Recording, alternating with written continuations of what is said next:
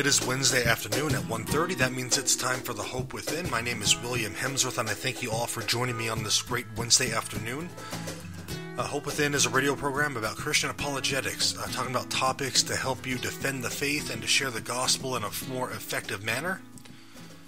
And here at The Hope Within, we get we get our name from 1 Peter 3:15, which says, But in your hearts set apart Christ as Lord. Always be prepared to give an answer to everything, to everyone who asks you to give a reason for the hope that you have. But do this with gentleness and respect. So, a couple housekeeping items, real quick, before we get started with today's program, which is about atheism, by the way. Uh, check out my website, theologystillmatters.com. We've got a couple new articles out there. You can check out back back episodes of the show.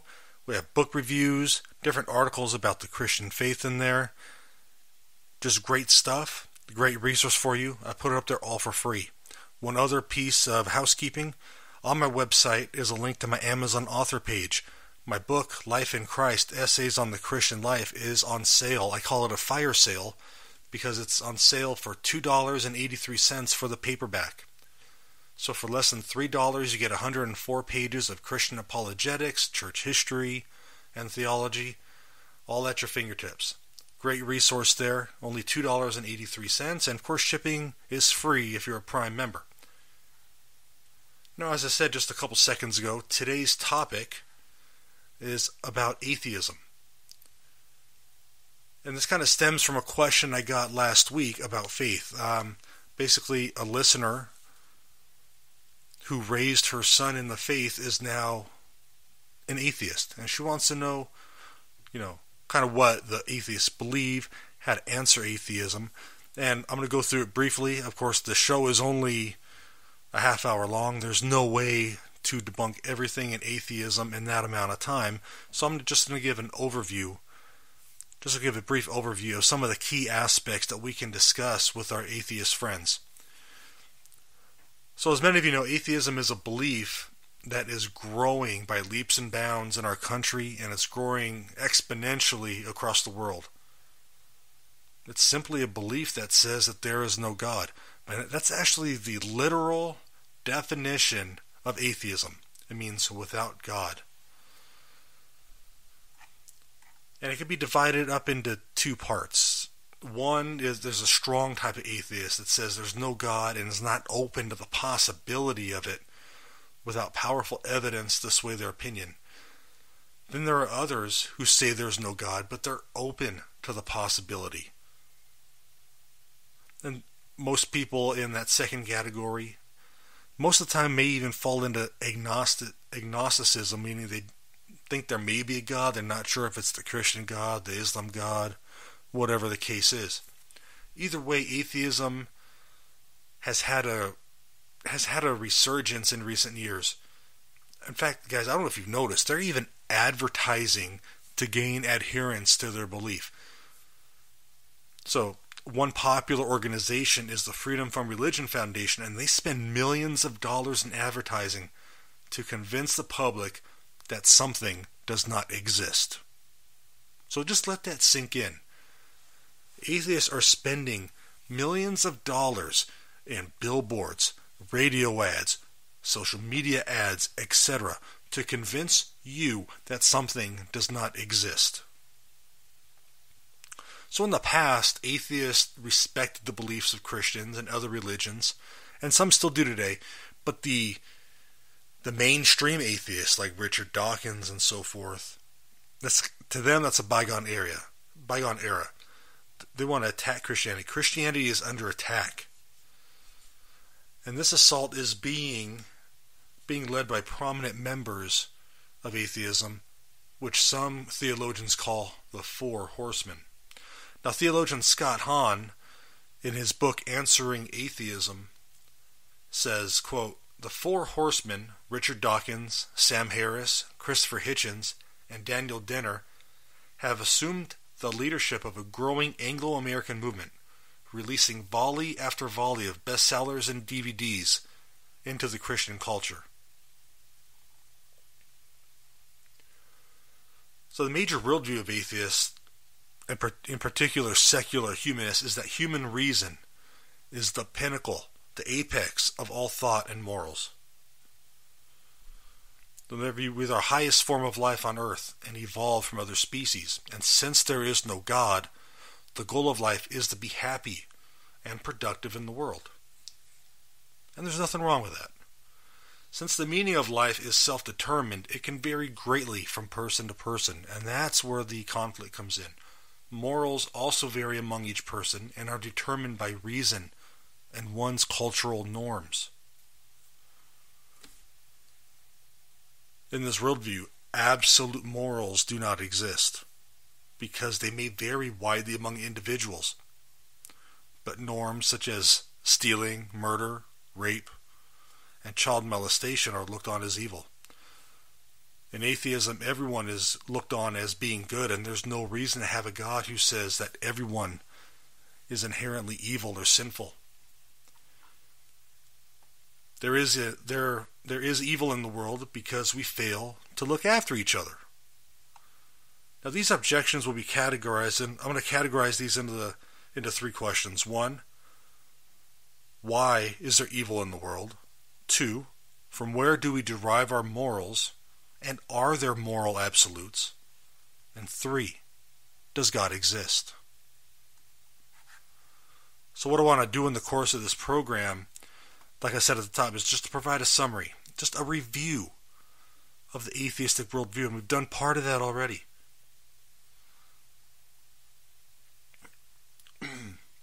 So, when it comes to discussing the faith with, atheists, it's important to do so in love, just as the scripture read at the top of the program says.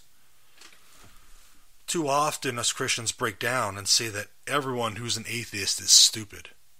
Now, that's definitely not the way to go. As the old saying goes, we catch more bees with honey instead of vinegar.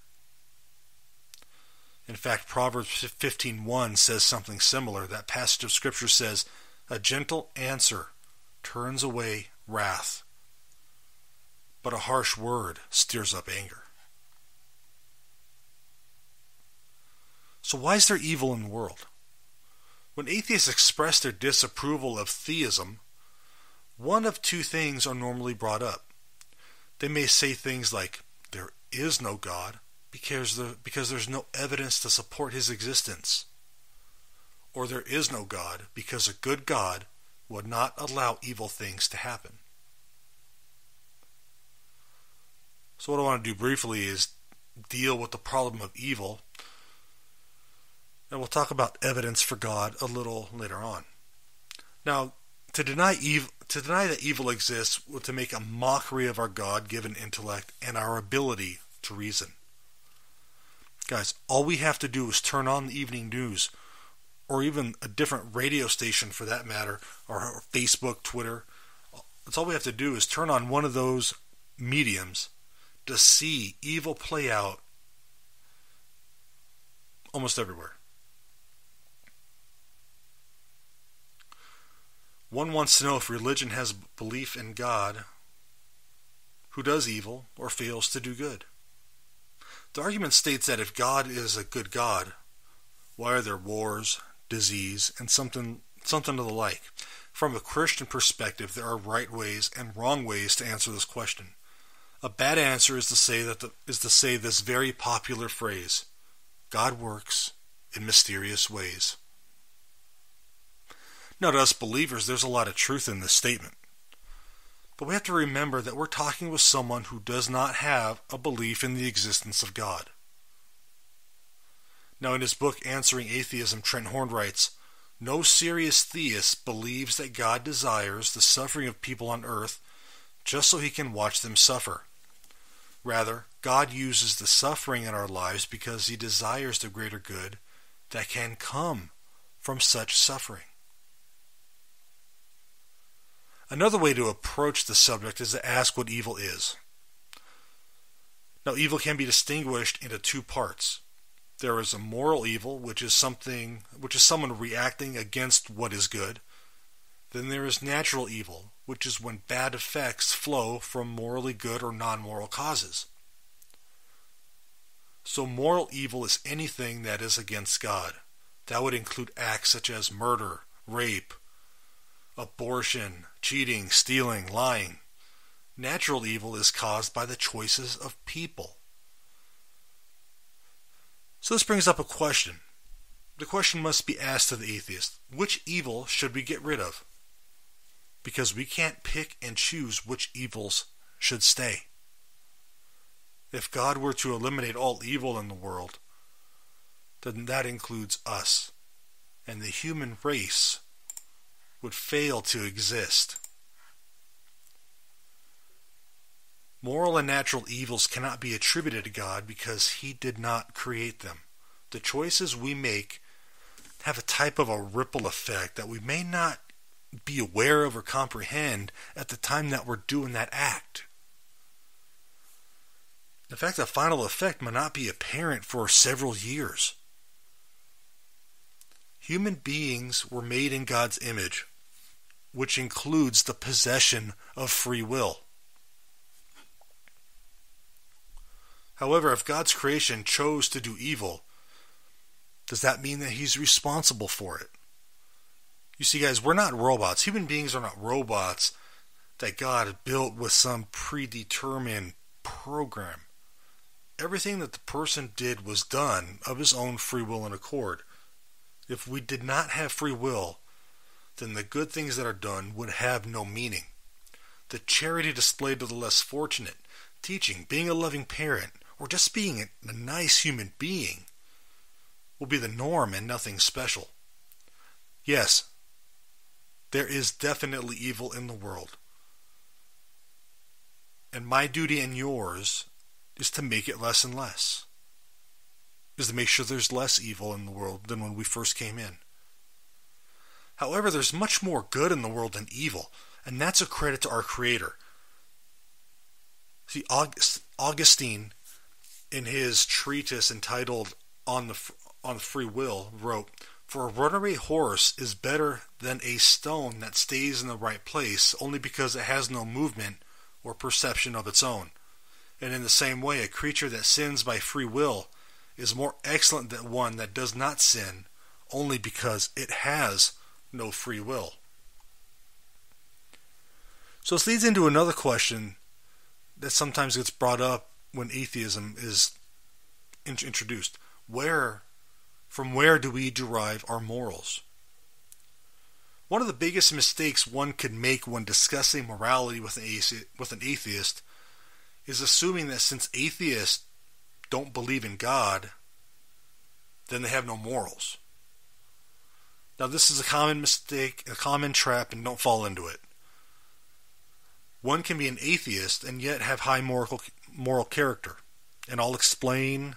Give me some time to explain. I know some of you are probably chomping at the bit. Give me a couple minutes to explain. The popular atheist website askanatheist.org regarding this wrote While theists believe that God will punish them for immoral acts and reward them for moral acts, atheists have no motivation to be moral other than their own innate sense of morality. It is morality for its own sake, not out of fear for punishment or desire for reward. You see, this is great, but there is a source from where our moral, our moral character derives. In the atheistic worldview, morals derive from wanting to help humanity instead of a motivation for heaven in the next life. At least that's what they'll tell you. Popular atheists claim that goodness is embedded in all of us, and a lack of morality is caused by being selfish. The claim is that our conscience is the barrier that keeps us from breaking regular moral norms. However, there are many um, there are many among us that don't have the same moral standard. Now, there was a book written by Martha Stout titled The Sociopath Next Door, and she had this to say It is estimated that one in every 25 people is a sociopath or is someone who does not possess the normal empathy and conscience that other people have. The Christian would say that the conscience is a supernatural regulator of moral behavior. In his encyclical, Pope, Pom, Pope uh, John Paul II, in his encyclical Veritatis Splendor, wrote, Bonaventure said that conscience was like a herald who blew a loud trumpet to announce the king was coming. So basically, a finite being who is a product of chance, according to the atheistic worldview, is unable to be the source of morality. You see, if we're a product of chance, there's no way that we could be the source of morality. This is shown, we see this by the different standards of moral conduct present in today's world. When we compare these different and various morality codes, it becomes very evident that the individual cannot be the cause. Christians have an answer. The Christian answer to this debate is that God has established a moral compass in all of us. This is why we're able to make a determination between right and wrong even if we didn't have the best parents. God's moral standard is contained in the Holy Scriptures for us to study and learn from. There's no denying that there are moral people who are not Christians. However, the Christian worldview does not state that one must be a Christian to be moral. It simply states that the moral code comes from something higher than ourselves, and that something must be God. So, next question that I want to discuss in our next few minutes here Does God exist?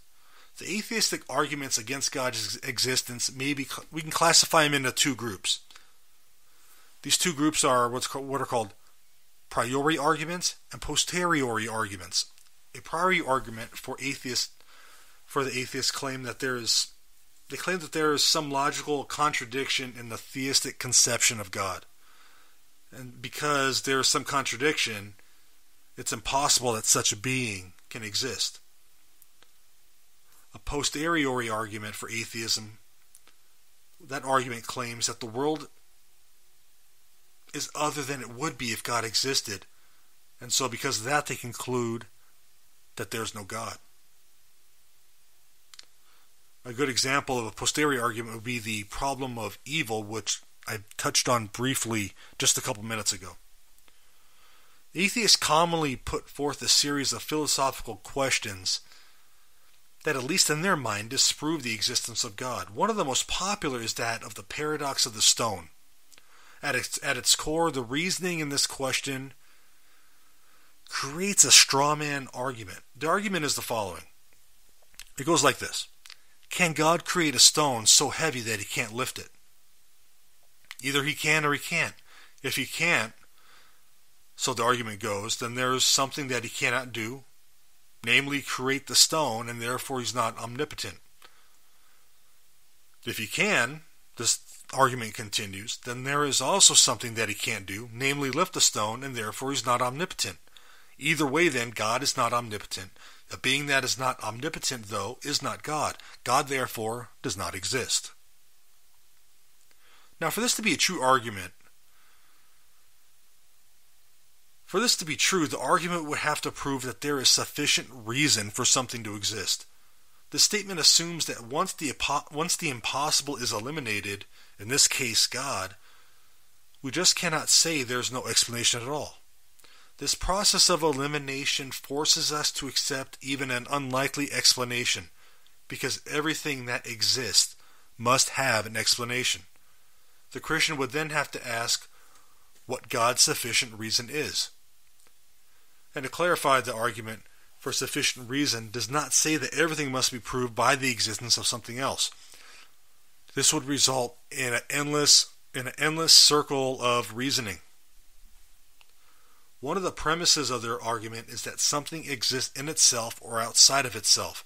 In the case of God, he is outside of space and time, so our finite minds, our cognitive minds, are not able to wrap our minds around that. An analogy of stones around a campfire may, may be helpful here.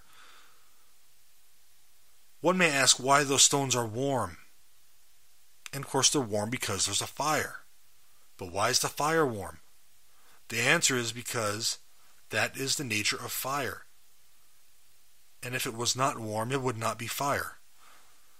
The paradox of the stone, though it's kind of entertaining to discuss, does not hold up to deductive or sufficient reasoning.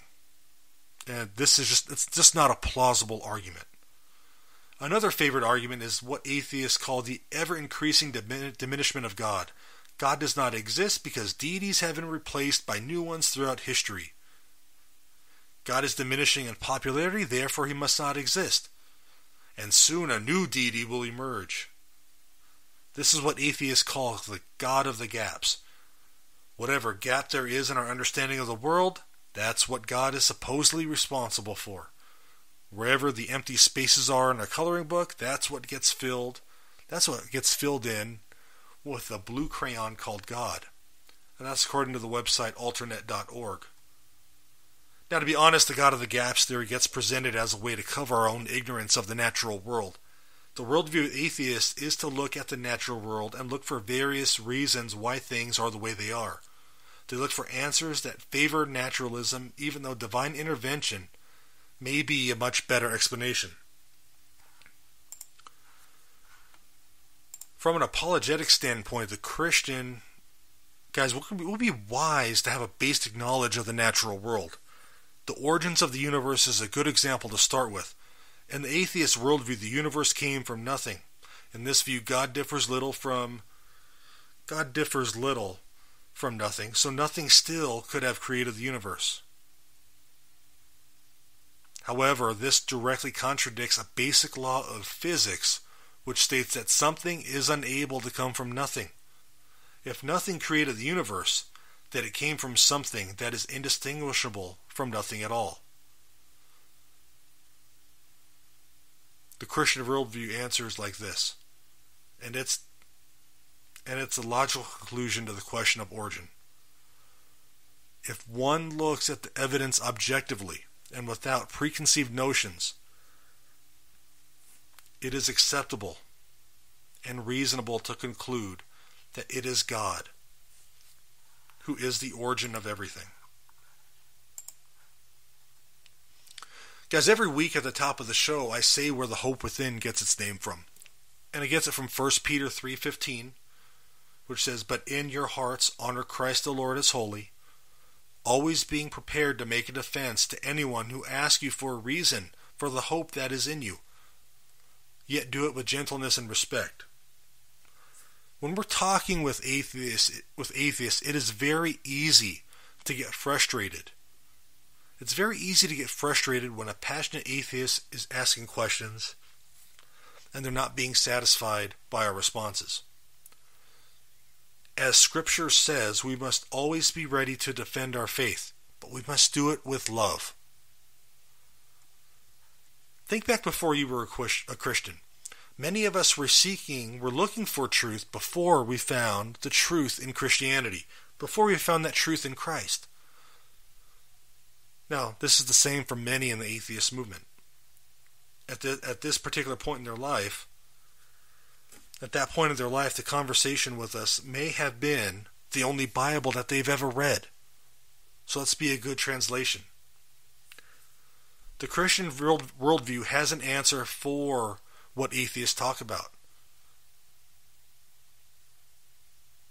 Now, quoting scripture, this is going to sound bizarre, doesn't do a whole lot of good when discussing God with an atheist because to them it's not an inspired writing. That's not to say that we shouldn't use Scripture, because it, the Holy Spirit can use it to plant seeds. To gain ground with atheists, we must also use the natural world and philosophy in our defense. Nature and philosophy actually agree with Christianity. They're not enemies. Don't be afraid of them. There are many arguments that I haven't touched upon. I only have a certain amount of time to do this show every week. But I, I encourage you to, you know, look at the resurrection and the ontological argument from Saint Tom, from Thomas Aquinas. That's also beneficial in dealing with atheists. In addition to knowing these things, knowing those things will help strengthen our faith and deepen our faith in Jesus Christ. Atheists are not our enemy they're misguided. They're, they are definitely misguided people who need the truth shared with them in love. So let's bring the truth to them in baby steps. Hey guys, like I said, this is just a very, very, very brief summary and brief tips about atheism. There's more on my, there's more on my website theologystillmatters.com. A couple resources I recommend. Uh, Trent Horn has a book called Answering Atheism. It's a great book. It's an easy read. He lays out all of these questions in great detail, and there's many more as well. Scott Hahn has a Scott Hahn has a great book as well called Answering the New Atheism. That's also a great resource. And there's also a papal encyclical titled Veritatis Splendor, the Splendor of Truth, which deals with atheism and moral relativism, which is also a great resource. And it's written for all Christians. Yes, it's written by the Pope, but it's not just a Catholic document. It's written for um, all Christians. A lot of great resources out there um, when discussing atheism. Guys, and also, uh, The Hope Within is a listener supported show. So if you want to donate to the show, uh, please do. I would greatly appreciate it. Uh, donate via PayPal, and my PayPal email address is william.hemsworth at gmail.com. And as always, I thank you for listening to the show each and every Wednesday. Please check out, follow us on Twitter at within underscore hope, or the Facebook page at heart at the at Hope Within Radio. God bless you guys. Thank you so much for listening. Have a great day.